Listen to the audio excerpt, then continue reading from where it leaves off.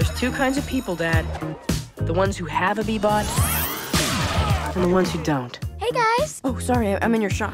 Oh, I have a filter for that. Really? You need a B-Bot to have a social life? Yeah, Dad, kind of. I, I don't want you addicted to some device. Yeah, the. Oh, Dad, you got me one. Hi, Barney. I'm your best friend out of my box. What are you doing?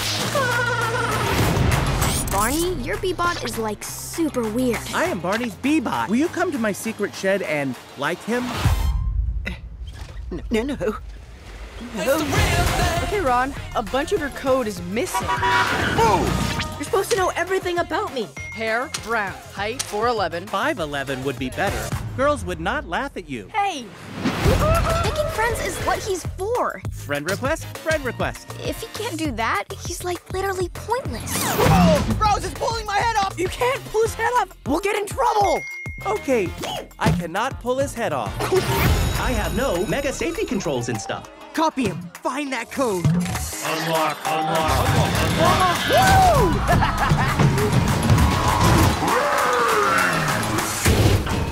I'd better look into that. You think?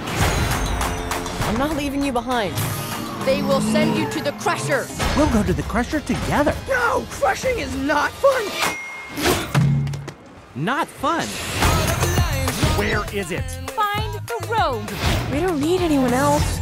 I currently have one friend. That is sad and also tragic. Run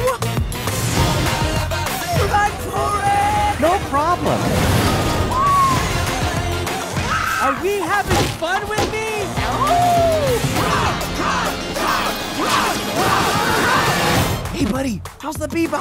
Both of you, hands where I can see them.